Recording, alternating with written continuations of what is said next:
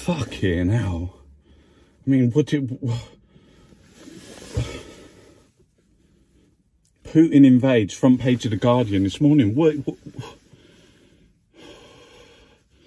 BBC just now, Russian strikes hit Kiev overnight.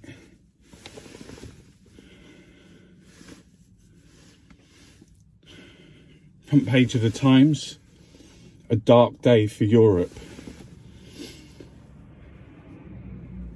The thumps grew louder, war was here.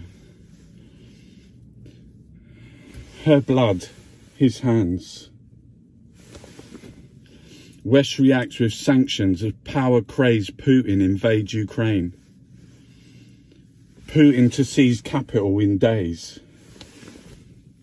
Russian troops encircle Kiev after, after lightning invasion. Boris says tyrant is redrawing map of Europe in blood. But outrage as Germany and Italy veto tough sanctions. but it...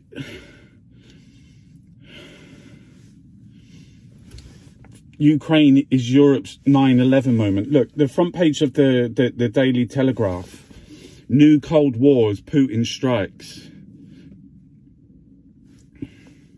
Front page of the Financial Times. Putin forces storm Ukraine. Ukraine's agony. Families flee as war comes to Europe.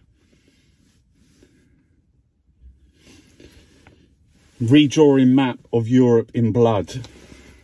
The world gasped in horror yesterday as blood-stained aggressor Putin launched a terrifying full-scale invasion. War in Europe.